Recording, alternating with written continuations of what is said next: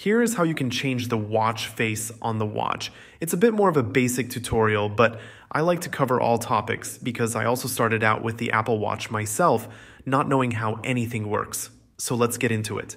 First of all, there is one setting that I need to show you, and it's actually on the iPhone. Keep in mind that we're talking about the iPhone that is paired to this Apple Watch. But inside the Watch app, what you can do is to go to the clock section. Inside, you can see the option called Swipe to Switch Watch Face.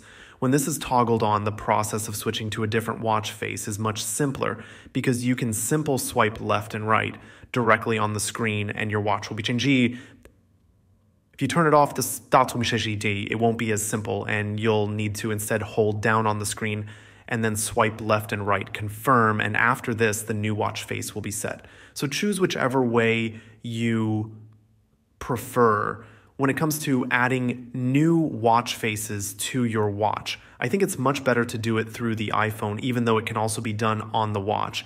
Inside the watch app on your iPhone, click on the face gallery at the bottom of the screen, browse all the available faces, and click on add to add them to your watch. As you're already here, you can also customize the color or the way that it appears. So that's basically it from me.